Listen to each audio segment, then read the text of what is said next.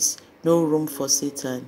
Yes, no room for Satan. No child of God must give room to Satan. Bible enjoins us in the book of James chapter 4 and verse 7 to resist the devil. When you resist the devil, he will flee from you. You lift a standard against him. You did not give him a place in your life.